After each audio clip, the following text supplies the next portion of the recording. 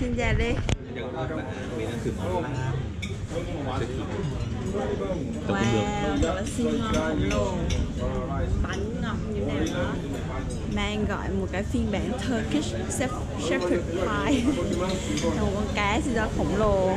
Và giá của bữa ăn là 115 lira. 10 bảng.